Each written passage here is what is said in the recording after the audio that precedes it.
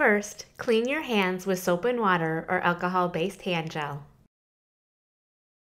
Then, clean your work surface with soap and water or a disinfecting wipe. Cover your work surface with a clean cloth or towel.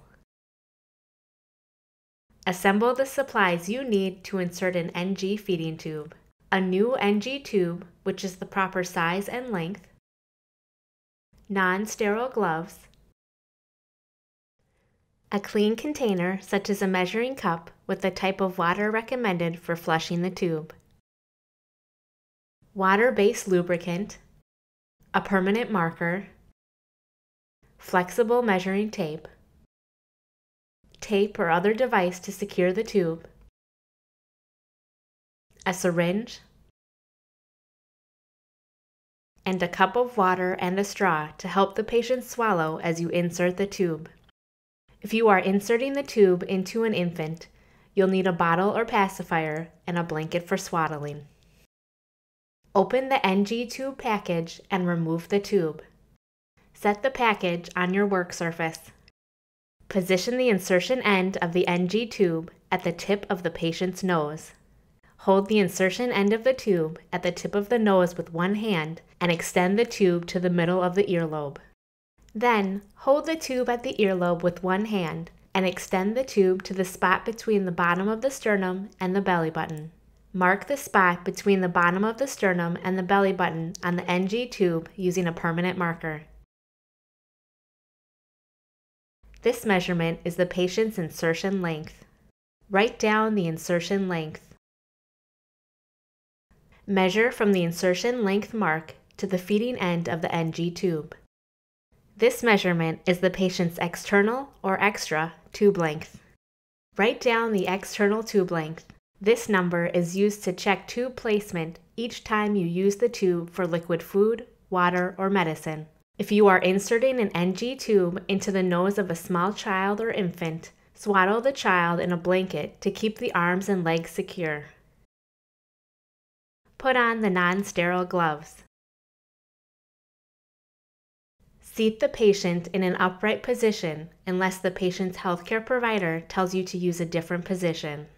For small children or infants, use a baby seat or boppy to support the child. Select the nostril that is most open to airflow for NG tube insertion. Cover the insertion end of the NG tube with water-soluble lubricant. Have the patient look straight ahead.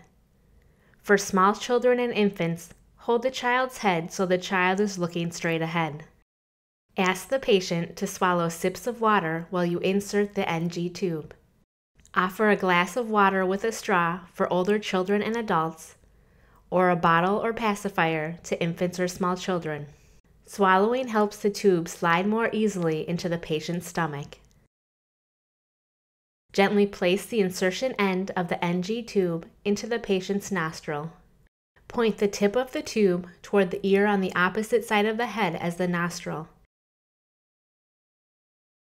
Thread the NG tube into the back of the nose and down the back of the throat. If the tube stops moving easily, tip the patient's head forward. Continue to insert the NG tube slowly and gently. Never force the NG tube to move. If the tube does not slide easily or you see the tube coming out of the mouth, remove the tube and try again in the other nostril. Stop inserting and remove the NG tube immediately if the patient experiences any of the following symptoms wheezing, continuous cough, change in color, difficulty breathing or inability to breathe, inability to make sounds, continuous gagging or choking, vomiting, increased restlessness, unexplained signs of discomfort or pain, or change in quality of cry for an infant or toddler. If none of these symptoms occur, continue to advance the NG tube until the spot you marked for insertion length is just outside the nose. Use tape or a securing device to hold the NG tube securely to the nose and cheek. Before using the tube, check the NG tube placement. For a refresher on how to check the placement of an NG tube, Click here to watch the video. Once tube placement is confirmed, You may begin using the NG feeding tube to deliver liquid food, water, or medicine.